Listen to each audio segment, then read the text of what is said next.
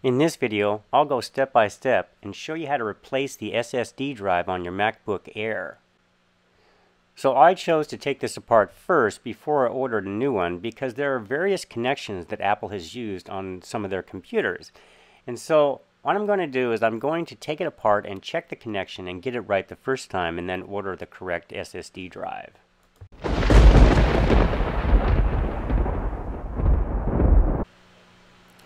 The first step before you do anything is to make a full backup of your computer. And I would recommend doing two on two separate drives. And then when that is done, power down your computer because we definitely do not want this on during the procedure.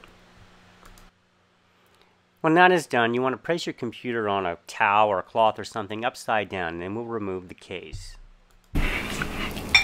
All right, I'm, I've got a MacBook Pro here. Actually, this is not a MacBook Pro. This is a MacBook Air. And so in order to get the case off the back, we're going to need a Torx. These are not Phillips. And then I'm going to place the screws where I found them. Some of them are a bit longer, and so we'll just go around like this and remove them.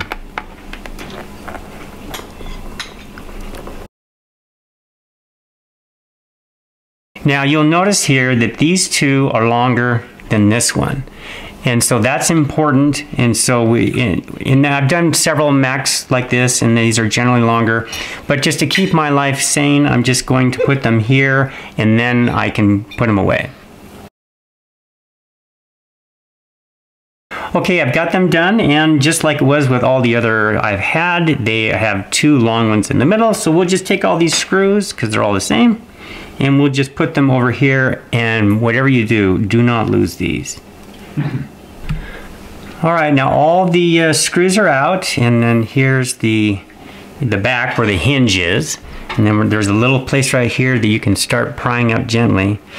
And if it sticks, you gotta be kind of very careful and try and release it. Now this one, I just as a, just did try and release it and it stuck a little bit.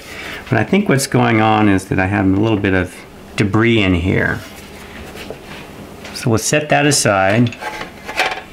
Now, um, let's zoom in. I'll show you how this is put together.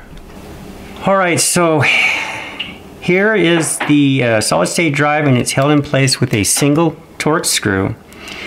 But what we need to do is first we need to disconnect the battery. Now you can see this little plastic tab right here. And so we're going to pull this very gently back this way Okay, so now the battery's disconnected. And so now we are ready to remove this screw. And this is held with a Torx screw.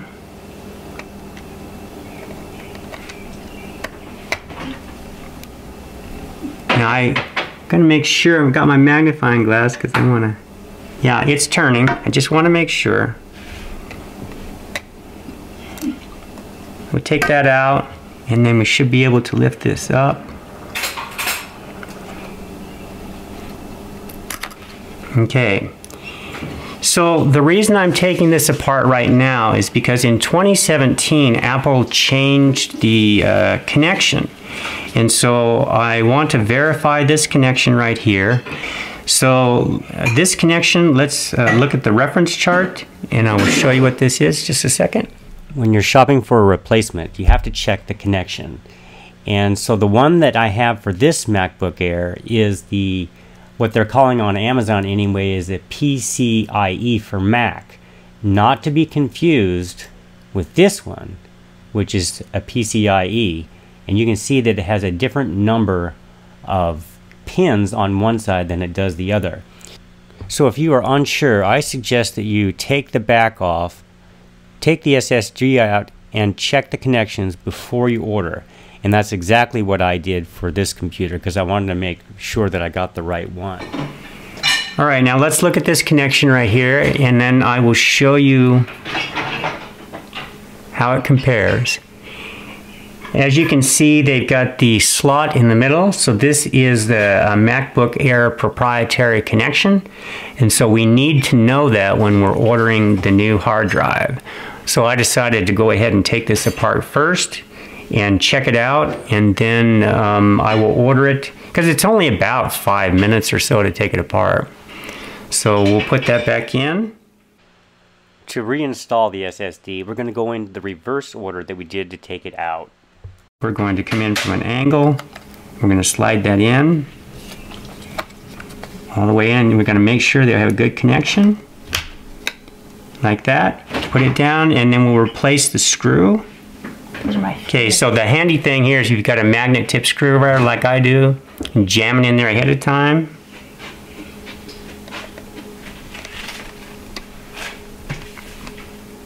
Just take it down snug and no more. And then we're going to reattach the battery very gently, come back out.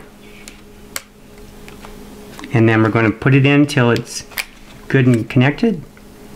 Okay, make sure that's flush.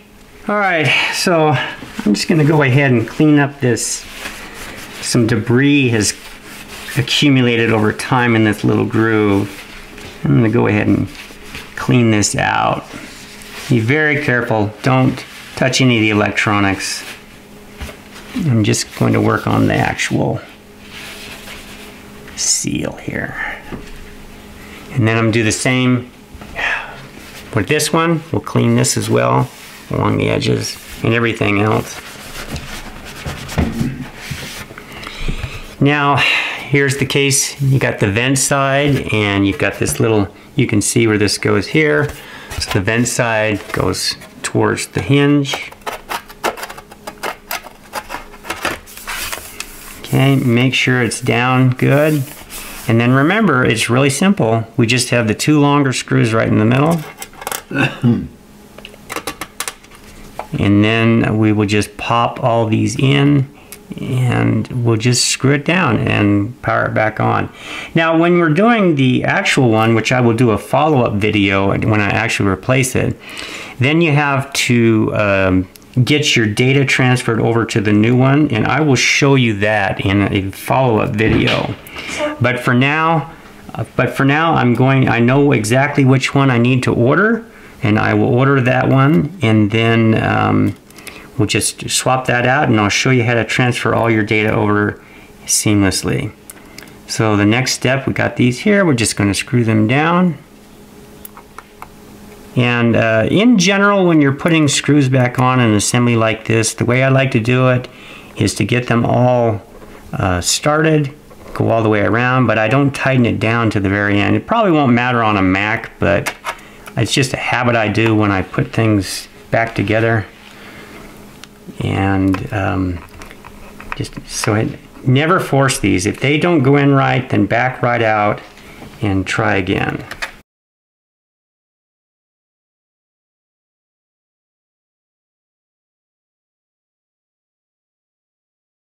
Okay, now I'm just going to go around and just snug them up.